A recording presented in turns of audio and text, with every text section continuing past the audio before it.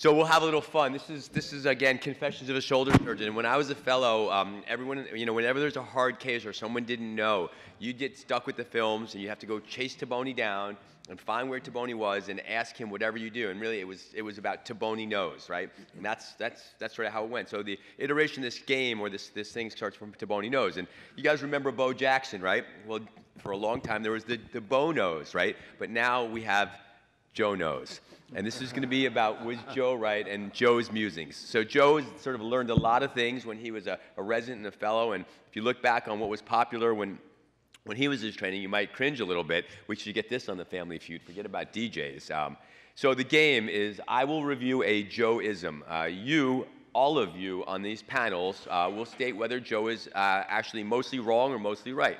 For example, Joe might say, I'm the best shoulder surgeon in Philly. Uh, Bill Levine, of course, would agree because he's so kind. And Jerry, I don't know, we'll let that, uh, we'll, we'll, we'll let the world surprise us. So let's go. The first one, actually, Jerry, you stole a little thunder. Joe says um, if he can bill for an acromioplasty, he'll do it. If he's not going to get paid for an acromioplasty, he won't do it. So everyone, please open up your polls because I think the audience here, you're going to get polled on all of these. We want to know if and it, mostly you do acromioplasty, mostly not. So, you know, no pontification, let's just come down yes or no. Mostly yes, mostly no, never. Joe, start.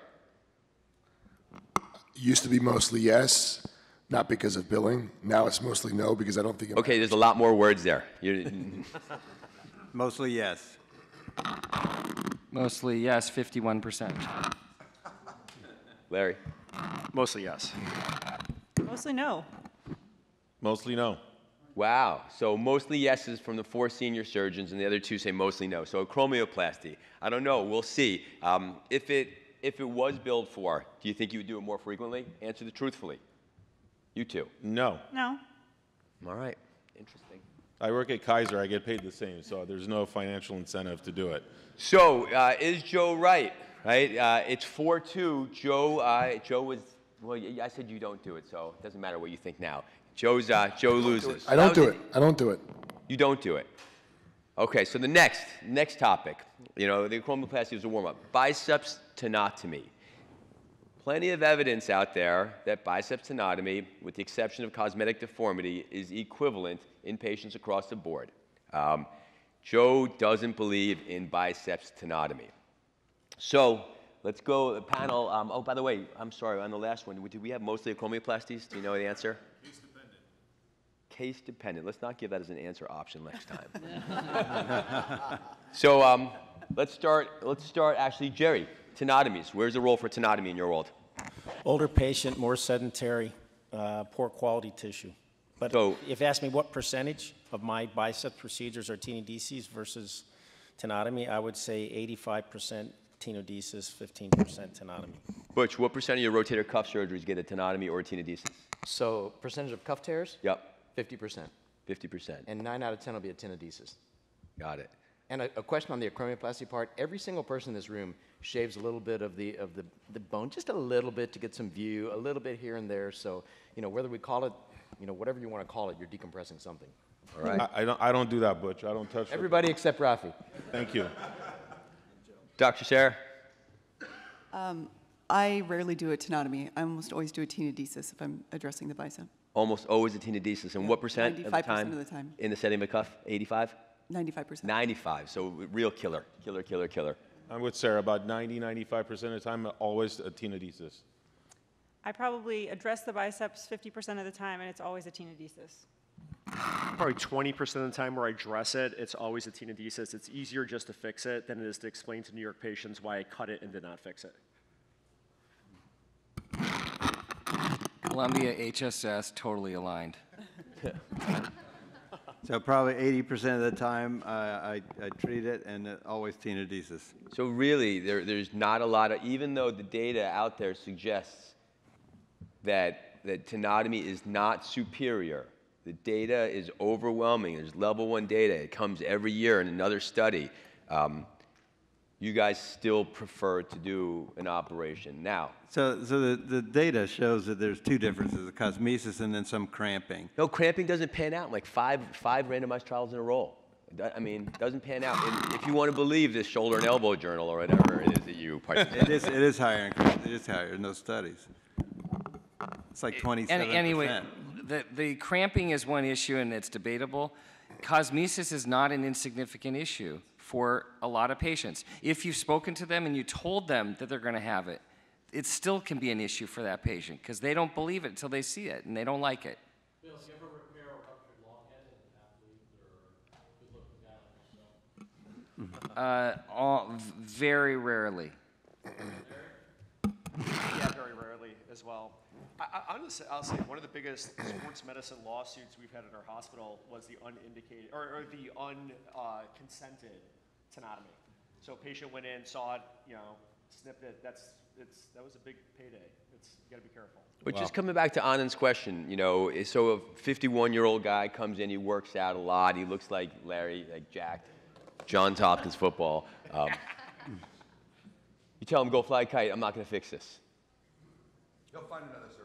That- That's not. I, I- I'm just making them hold Talking to it. about a rupture, not, Yes, a ruptured, yeah, bi- a ruptured, isolated rupturable proximal biceps. You're gonna you're gonna leave them alone.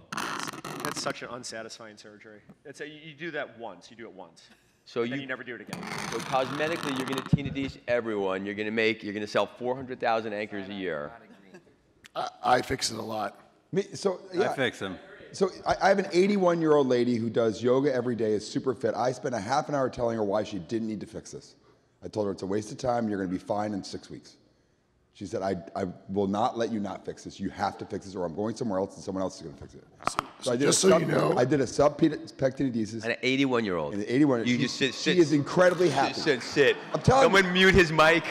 Okay, You're so we have Columbia, HSS, and Mount Sinai perspective. I mean, aren't you? I take that back. The acute, yeah, I mean, every now, yeah. I mean, the chronic is not worth going after. Oh, backtracking. So just so you know. So just I'd, I'd want it fixed. I'd want it fixed. so, work comp patients are very educated. A guy came in at a work comp injury, long-headed biceps rupture. I told him it doesn't need to be fixed. He pulled up the AOS guideline for me and showed me that in laborers it should be fixed. So I fixed it. So I, I think there's a big, di- I think there's a big difference between, uh, All right, so we, we, will, we will move on from this clearly, you know, no one gets a tenotomy, everyone gets repaired, no Paul, one gets repaired. Paul, we've made that very, very opaque. Yeah. and I, I thank you for the expert uh, panel here. Uh, all right, so Joe says, Joe says that the medialized glenosphere is dead. He will no longer do a Grammont style 155. He's going to lateralize everybody in all cases. Um, Javier, is he right or wrong? That's only, only no, no no pontification, right or wrong. wrong. Wrong. Wrong. Wrong. Wrong. I mean, I just like that he's wrong all the time. even if you guys are right. Yeah. So in the majority of your cases, you are down, so you guys have all just testified in front of your open peers that you're doing primarily medialized glenoids. I didn't say that. Yeah. I mean, what are we supposed to take away? You either do or you don't, right? It's not like, oh, well, in most of the cases, in 70% of the time, 100% of the cases, what do you mostly do? Do you mostly lateralize or do you mostly medialize? I'm mostly lateralized. So you agree with Joe. I don't think it's dead. It's dead. Rafi? I'm with, I'm with Melissa. Mostly, mostly mat- medial or lateral? Lateral. Mostly? Yeah. Melissa's, Melissa's feisty. Mostly medial. Yes. Oh, Vonnie, get, get the mic. Yell at him. No, Yeah, all right. We're talking about the glenoid. It's Hey, he's global lateralization that we're talking about. He's responding to the question, Dr. Savison. By the way, Larry has now been called out. He does something and he doesn't. Oh, I would never fix that biceps. Well, I mean, I would actually if they came in to see me, I would fix it. As long as it wasn't Medicare, I would do it. Yeah. Uh-huh. All right. Mostly lateral, mostly medial, Bill. Mo- more lateral. Mostly medial. Mostly medial. Yeah. Help. All lateral for me. All lateral for you. Totally agree with Jerry. All lateral. Mostly lateral. No. Mostly. So I think I think lateral is going to win here, uh, with the exception of you know global. Yes, Fonnie. but My, okay, what angled humeral implant do you use? I just want to know the number, not i- i- that, that's a mostly. Joe, just walk it down the line. 35. 135? What'd I- I'm sorry, I didn't hear. Yeah, 135. 35, just sort of articulate, because uh, Dr. Zumstein let us know that 35s are the worst. Next. 145. 45. 35. Okay, so you didn't listen to Zumstein. Zumstein and Tashjian gave the best lectures ever. Next. 145. 45, someone who listened. Uh, it's kind of a 35, 45. No, no, which one? I don't know. It's like 50 50. You have to know. Pick one. This is how, this is how you. 35. Yes. 35. 35. 45. 45. 45. 35. Matthias, are you here? Are you, are you, have you flown back? He, he was in shorts downstairs. I saw him. All right, so um, we talked about baseplate lateralization. Joe uh, has another Joeism. Joe says the latissimus transfer, now that he can lateralize, the latissimus transfer is stupid. So the question for you, each of you panelists, are you stupid or is Joe stupid? Is this with a, is this, Paul, is this with a reverse or? Yes, I'm sorry. Yes, well, this is with a reverse for someone who's got an external rotation lag. Um, and does it, does it help it? So uh, you or Joe, pick it. Who's the stupid? The stupid. Is it, is it a relative thing? Yeah, yeah, it's, it's you know, you got to answer. I'm stupider than Joe. Oh, come on. So you, so you do uh, lat transfers? Yeah. Okay. Yes, on lat If they, if transfers. they don't get the neutral, pre-op. Joe, for sure. It's stupid. Yeah, there's no way that a lateral center of rotation eliminates a huge external rotation lag. So Joe is, that's a Joe is stupid. Joe's stupid. Bill, I didn't, I, I mean, we're having fun, but I didn't get, I didn't understand. So do you believe, is Larry right that you need to use the latissimus for a severe lag? Well, I don't think lateralization can get rid of it. Okay, fine. I have not done a lat transfer. So Joe is stupid. Yeah, it will just default. Sure. Yeah. Me either. You guys have an opinion on this? Yes, of course you do, Butch. Four latissimus transfers and nearly 4,000 reverses. Only four. So if someone has a severe lag, they can't feed themselves, they sort of flop to stomach. I think what you have to determine is um, the lag sign that's associated with absolutely nothing on the back of the humerus. If the back of the humerus has nothing on it, I do a transfer, and that's rare. All right, good. Uh, we talked about implant size. We talked about if Joe's right. You guys, do, do, do all the fellows and residents know who this other guy on the left is? You know, we got Einstein for first. Do you guys know who Alfred E. Neuman is? No. Oh, it's so sad. That's so sad. I'm so, I'm so old and creepy. Or, or- all right, so uh, Joe actually did this, this, this case. Um, and he, and he sent it up, sent it up to us. And after Laurent biopsied it for P. acnes and we resolved that infection, Joe switched over and says, now I do IM nails of the clavicle, right? Because he thinks it's a better, faster uh, operation. And then there, there's some data and, and people have this. So, Javier, any IM nailing in the clavicle? No. Well, I'll take it back. I mean, you would, I mean, now you, Pedi- pediatric cases, I'll do. in a pediatric case, you'll use a flexible nail? Yes. From medial or lateral? Uh, I go through the fracture site, then back through. Oh, wow. Any nailing for you? No. Barry? No. Melissa? No. Rob? No. Nails? No. No. That was easy. First of all, that's a lie. I don't nail anyone. You have never nailed anyone, yes. okay, um, let's just go on to this last one. Oh my God. So, I, I have to tell you, He's gonna kill you, dude. I can't unsee that. Yeah. it looks like I photoshopped it. I swear, that's it's on my computer. We're planning this meeting, and Joe's like, "Oh, I'm here right now," and, and then he goes to FaceTime, and I see him, and I mean, his arm is like dysmorphic. I don't really get it. My therapist and I have been working. This is a true story. no embellishment. My therapist is trying to help me unsee things. All right.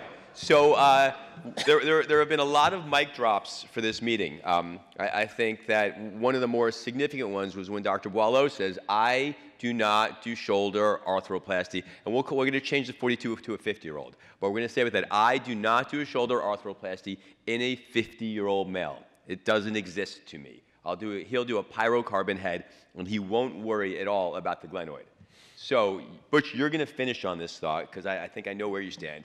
But 50 year old male, you've exhausted your, your non arthroplasty options. There's, there's nothing else, right?